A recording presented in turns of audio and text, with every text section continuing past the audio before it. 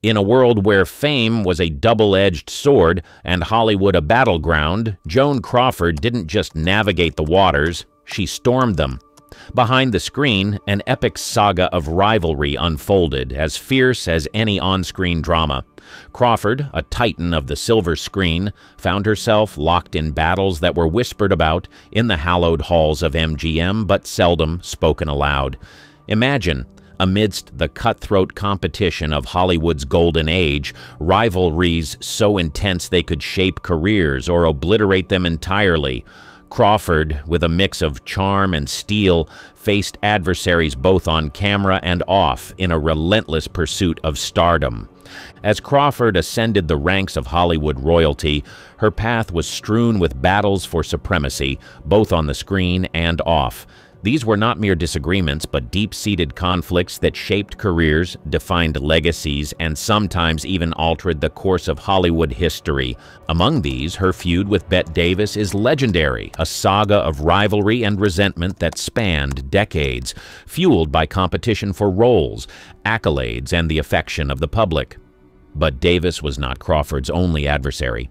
From Norma Shearer's elegance to Mercedes McCambridge's grit, Crawford found herself in a constant struggle for the spotlight, battling not just for parts, but for her place in an industry that pitted woman against woman in a relentless display of one-upmanship. Yet these rivalries were more than mere tabloid fodder. They were reflections of Crawford's unyielding determination to succeed in a male-dominated industry, her refusal to be sidelined, and her complex relationships with her peers. Behind each conflict lay a story of ambition, jealousy, and the harsh realities of stardom. This video delves deep into the heart of Joan Crawford's most shocking rivalries, uncovering the truth behind the headlines and the impact these conflicts had on her career and personal life.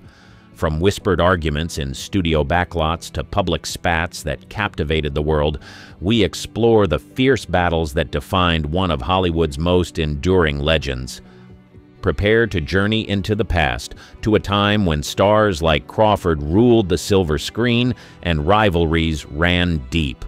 Welcome to Shocking Facts about Joan Crawford's Rivalries. The Origins of Rivalry in the early 1920s, a young woman named Lucille Fay LeSueur stepped into the limelight of Hollywood, marking the beginning of a journey that would transform her into Joan Crawford, one of cinema's most enduring icons. Born on March 23, 1905 in San Antonio, Texas, Crawford's early life was far from the glamour that would later define her. Her ascent from obscurity to stardom was fueled by a relentless ambition and a desire to escape her impoverished beginnings. Crawford's entry into Hollywood came at a time when the film industry was undergoing a seismic shift. The silent era was giving way to the talkies, and studios were in a frenzied search for stars who could transcend this transition. Crawford, with her expressive eyes and dynamic presence, quickly caught the attention of MGM, one of the era's most prestigious studios. Her rise to fame was meteoric. By the late 1920s, Crawford had become one of MGM's most bankable stars, embodying the modern, independent woman of the jazz age in films like Our Dancing Daughters, 1928. Yet, as her star ascended, so too did the competitive tensions with her peers. The studio system of the time pitted actresses against each other, often vying for the same roles, leading to inevitable rivalries. One of Crawford's earliest and most significant rivalries was with Norma Shearer, the so-called Queen of MGM. Shearer, married to MGM's head of production, Irving Thalberg enjoyed what many considered preferential treatment in role selection. Crawford viewed Shearer as her chief rival, a sentiment that was exacerbated by the studio's politics and their competition for the same parts. This rivalry was emblematic of the challenges Crawford faced, not just in terms of her career, but in her quest for recognition and respect within the industry. Despite these challenges, Crawford's determination never wavered. She continued to push for more substantial roles, leveraging her popularity with audiences to gain leverage with the studio. Her efforts paid off in the 1930s with critically acclaimed performances in films like Grand Hotel, 1932, and Possessed, 1931. which solidified her status as a leading lady of Hollywood. Yet, Crawford's ambition often isolated her from her peers, leading to strained relationships and further rivalries. Her marriage to actor Douglas Fairbanks Jr. in 1929 placed her in direct competition with Douglas Fairbanks Sr. and Mary Pickford, Hollywood's golden couple. The marriage, while elevating Crawford's social standing, also marked her as an outsider within the industry's elite, a position that would fuel both her determination and the rivalries that defined her career. Crawford versus Bette Davis. The rivalry between Joan Crawford and Bette Davis is perhaps the most legendary in Hollywood history, a saga of enmity and begrudging respect that spanned decades and defined both actresses' careers. Their feud was rooted in a complex mix of professional competition, personal dislike, and the intense pressures of Hollywood's studio system. The origins of their rivalry can be traced back to the early 1930s when both actresses were rising stars at Warner Brothers Studio. Crawford, having recently moved from MGM to Warner Brothers, was seeking to reinvent her career, while Davis was establishing herself as one of the studio's most talented and ambitious actresses. Their competition for roles was fierce, exacerbated by the studio's penchant for pitting its stars against each other. The rivalry reached its zenith in 1962 with the production of Whatever Happened to Baby Jane. The film, which cast Davis and Crawford as aging, reclusive sisters, was a psychological thriller that played on the real-life tensions between the two stars. On set, their feud was legendary. Davis was said to have kicked Crawford in the head during a scene, while Crawford reportedly filled her pockets with rocks during a scene where Davis had to drag her across the floor, making the task as difficult as possible. Despite the animosity, Whatever Happened to Baby Jane was a critical and commercial success, earning Davis an Academy Award nomination for Best Actress. Crawford, however, was not nominated, a snub that deepened the rift between them. Crawford managed to overshadow Davis's nomination by contacting the other nominees and offering to accept the award on their behalf if they were unable to attend the ceremony. When Anne Bancroft won and was absent, it was Crawford who took the stage, much to Davis's chagrin. The public and the media were fascinated by their feud, which both actresses occasionally played up for the press. Despite their rivalry, there were moments of professional respect between them. Davis once acknowledged Crawford's business acumen and work ethic, while Crawford admitted to admiring Davis's talent. Their rivalry was not just personal, but reflective of the challenges faced by actresses of their era. Both were fighting for survival in an industry that marginalized women as they aged. Their feud, while personal, also highlighted the broader struggle for women in Hollywood to maintain their careers, autonomy, and respect in a male-dominated industry. Crawford and Norma Shearer the rivalry between Joan Crawford and Norma Shearer during the golden age of Hollywood is a tale of ambition, studio politics, and the quest for cinematic dominance. Both actresses were luminaries of their time, but their paths to stardom and the nature of their competition were markedly different, shaped by the machinations of MGM and the personal dynamics at play. Norma Shearer, often referred to as the First Lady of MGM, was not just a celebrated actress, but also the wife of Irving Thalberg, MGM's head of production. This connection afforded Shearer a certain level of influence and choice in her roles that was unmatched by her peers. Shearer's position at MGM was both a boon and a source of contention, as it placed her at the center of studio politics and favoritism.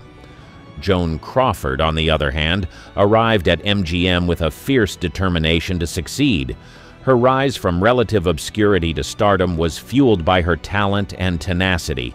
However, Crawford often found herself at odds with the studio system, which seemed to favor Shearer. The competition for roles between Crawford and Shearer was intense, with Crawford feeling that Shearer's marital ties to Thalberg gave her an unfair advantage. The rivalry was exemplified in the competition for the role of Elizabeth Barrett in the film The Barretts of Wimpole Street, 1934. Crawford was initially considered for the part, but it ultimately went to Shearer, a decision that Crawford saw as a direct result of Shearer's influence within the studio. This incident was a turning point for Crawford, who became increasingly disillusioned with the politics of MGM. Despite the rivalry, Crawford and Shearer's professional paths were intertwined with moments of mutual respect. Both actresses navigated the challenges of an industry that was often unkind to women, particularly as they aged. Shearer's retirement from acting in 1942 and Thalberg's earlier death in 1936 marked the end of an era for MGM and provided Crawford with an opportunity to redefine her career. Crawford's departure from MGM in 1943 and her subsequent resurgence at Warner Brothers with films like Mildred Pierce, 1945, for which she won an Academy Award, underscored her ability to reinvent herself. Meanwhile, Shearer's legacy at MGM remained intact, her films continuing to be celebrated for their elegance and emotional depth. The Crawford Shearer rivalry is a narrative of two women who, in their quest for cinematic success, faced the complexities of a studio system that pitted them against each other. Their story reflects the broader challenges faced by actresses in Hollywood's golden age, where talent and ambition often collided with the realities of a male-dominated industry. The friction with Mercedes McCambridge in the landscape of Hollywood, where stars were meticulously crafted by the studio system, the rivalry between Joan Crawford and Mercedes McCambridge during the filming of Johnny Guitar, 1954, stands out as a clash of titanic personalities. While factual details about their interactions are limited, the tension between Crawford and McCambridge has become the stuff of Hollywood legend, emblematic of the intense personal and professional rivalries of the time. Johnny Guitar was a film that defied conventional genres, blending Western motifs with psychological drama and strong female leads. Crawford, already a legend by the 1950s, was cast in the lead role of Vienna, a saloon owner with a mysterious past. McCambridge, known for her powerful voice and commanding screen presence, was cast as Emma Small, Vienna's antagonist, fueling the film's central conflict. From the outset, the production was rife with tension. Crawford, protective of her status as a leading lady, reportedly felt threatened by McCambridge's talent and intensity. McCambridge, for her part, was unafraid to assert her presence, leading to a clash of egos on set. The dynamic between the two actresses mirrored the on-screen conflict, adding a layer of authenticity to their performances but also complicating the filming process. Director Nicholas Ray found himself navigating a delicate balance, trying to harness the tension for the film's benefit while preventing it from derailing the production.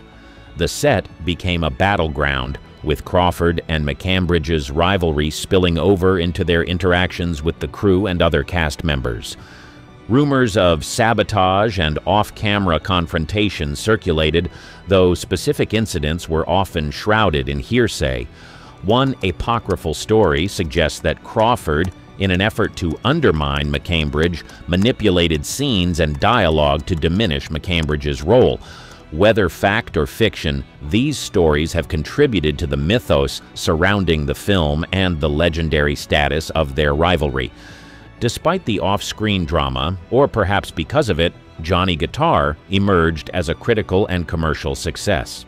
The film's unconventional approach to the Western genre and the strong performances of its leads have earned it a place in cinematic history. The rivalry between Crawford and McCambridge, while fraught with conflict, ultimately contributed to the film's intensity and depth. In the years that followed, both actresses continued to forge successful careers, though their paths seldom crossed again. The friction between them during Johnny Guitar remains a fascinating chapter in their storied lives, a testament to the complex interplay of artistry, ambition, and personality in the golden age of Hollywood. Rivalry with Barbara Stanwyck. The golden age of Hollywood was not just defined by its glamorous productions, but also by the intricate web of relationships among its stars. Among these, the dynamic between Joan Crawford and Barbara Stanwyck offers a nuanced view of rivalry and camaraderie in an industry rife with competition. Both actresses, celebrated for their indomitable spirits and formidable talents, navigated their careers with a blend of cooperation and contention. Stanwyck, like Crawford, rose from a challenging background to become one of Hollywood's most respected actresses. Their careers overlapped in numerous ways, leading to inevitable comparisons and competitions for roles. However, unlike some of Crawford's more notorious rivalries, her relationship with Stanwyck was marked by a mutual respect that underscored their professional interactions. The two stars shared the screen in Strange Cargo, 1940, a film that highlighted their ability to work together despite the undercurrents of rivalry. Off-screen, they moved in the same social circles, attending the same parties and events, which was common among Hollywood's elite. Yet, even as they vied for similar roles, there was an acknowledgement of each other's talent and contributions to the film industry. Crawford and Stanwyck's relationship was emblematic of the complex dynamics between women in Hollywood, where mutual respect could coexist with professional rivalry.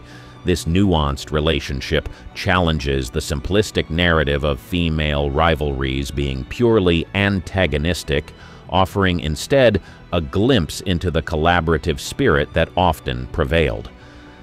As their careers progressed, both actresses faced the challenges of aging in an industry that prized youth and beauty. Their ability to adapt and continue working, often in roles that broke stereotypes and pushed boundaries, speaks to their resilience and the depth of their craft. In later years, the competitive edge of their relationship softened into a more reflective appreciation of their shared experiences and struggles. Conflicts with Greta Garbo, the relationship between Joan Crawford and Greta Garbo brings into focus the unique dynamics of Hollywood's studio system where stars were often pitted against each other yet sometimes found unexpected common ground. Garbo, the elusive Swedish siren, and Crawford, the quintessential American movie star, represented two very different facets of cinema's allure. Their interactions, both real and imagined by the public and press, underscore the complexities of star relationships during Hollywood's golden era. Garbo and Crawford's careers intersected at MGM, a studio known for its stable of leading ladies and its penchant for creating competitive environments among its stars. While direct conflicts between Garbo and Crawford were less documented than Crawford's other rivalries, the studio system's inherent competition fostered a climate where every actress was vying for the best roles, directors, and scripts. Crawford herself was acutely aware of the competition, famously quoted for her admiration and envy of Garbo's talent and the roles she received. Garbo, known for her reclusive nature and desire to avoid the Hollywood social scene, remained an enigmatic figure to many of her contemporaries, including Crawford. This distance likely fueled more speculation about their relationship, with the press and public eager to pit the stars against each other in a battle of personalities and talents. Despite the competitive atmosphere, there were moments of professional respect and perhaps a recognition of the challenges they both faced as women in a male-dominated industry. Crawford's transition from silent films to talkies and her efforts to reinvent her career in the face of aging paralleled Garbo's own challenges, including her eventual retreat from Hollywood. The narrative of Crawford and Garbo's relationship is less about direct rivalry and more about the broader context in which they existed. It speaks to the isolation and pressures faced by Hollywood's leading ladies, the studio system's role in fostering competition, and the public's insatiable appetite for drama and conflict among its stars. Their story, while lacking the overt confrontations of Crawford's feuds with other actresses, offers a window into the subtler forms of rivalry and respect that existed among Hollywood's elite. It underscores the complexity of navigating fame, artistic ambition, and personal identity in an industry that often viewed women as interchangeable parts rather than individual talents. Tensions with Loretta Young, both actresses, celebrated for their beauty and talent, navigated the complexities of a competitive industry with grace and determination, yet beneath the surface of their professional successes there simmered a tension reflective of the era's challenges and the personal convictions that shaped their careers. Loretta Young, known for her ethereal beauty and strong moral principles, often found herself at odds with the more openly ambitious and assertive Crawford. The industry's penchant for pitting actresses against each other in the public eye only served to exacerbate these tensions, casting their rivalry in a light that was as much about their differing approaches to their careers and public personas as it was about any direct personal animosity. The competition for roles between Crawford and Young was emblematic of the broader struggle for women in Hollywood to assert their agency and navigate the expectations placed upon them. Crawford, with her rags to riches backstory and relentless pursuit of success, contrasted with Young's more reserved and principled stance, offering a glimpse into the diverse strategies employed by women to succeed in an industry that often sought to limit them. Despite the competitive undercurrent, Crawford and Young shared moments of mutual respect and professional admiration.